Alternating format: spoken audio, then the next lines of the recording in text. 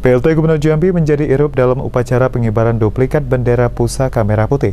Faruri mengimbau masyarakat khususnya generasi muda untuk mengisi kemerdekaan dengan terus belajar. PLT Gubernur Jambi menjadi inspektur upacara dalam peringatan hari ulang tahun ke-73 Republik Indonesia di lapangan kantor Gubernur Jambi pada Jumat pagi.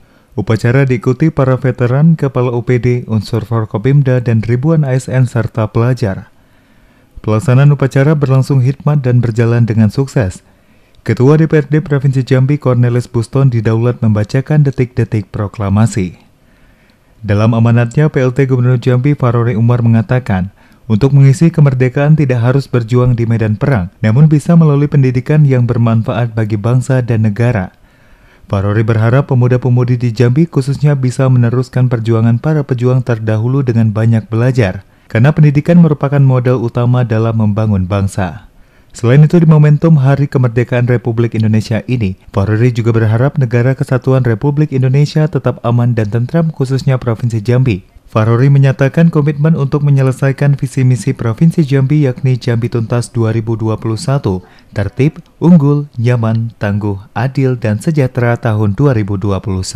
Nah, oleh karena itu pemuda-pemudi harapan bangsa dan kita melihat sekarang ini di Indonesia bahkan juga di uh, Provinsi Jambi kalau dulu memang banyak anak-anak yang tidak mau sekolah. Dalam arti kata SD pun tidak tamat dulu mungkin tahun-tahun 70 ke bawah.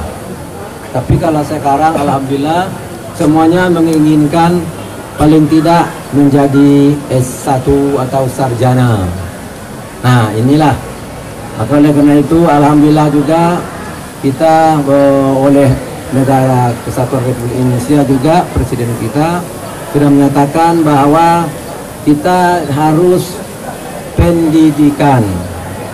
Dan yang kedua kesehatan. Maka oleh karena itu kita bahas pendidikan ini adalah kita belajar, belajar, dan belajar membaca buku-buku yang bermanfaat. Sri Junia Putri, JEK TV melaporkan.